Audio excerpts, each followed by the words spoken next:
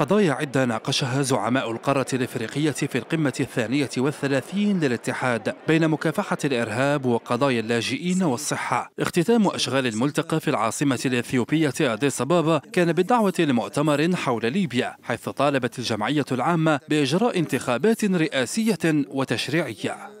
يدعو الاتحاد الإفريقي إلى إجراء مؤتمر دولي في أديس أبابا في تموز يوليو 2019 حول المصالحة في ليبيا بإشراف الاتحاد الإفريقي والأمم المتحدة والحكومة الليبية من أجل إجراء انتخابات رئاسية وتشريعية في تشرين الأول أكتوبر 2019.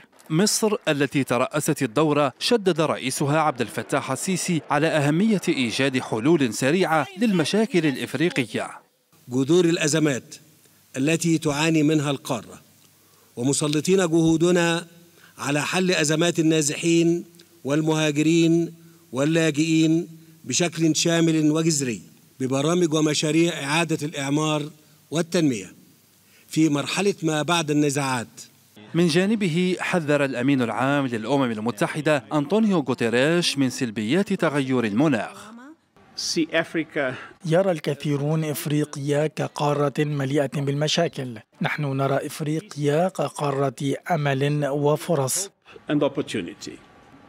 تغير المناخ هو أحد العناصر الرئيسية لتحديات التنمية. أنا حزين لأن تغير المناخ في تصاعد كبير.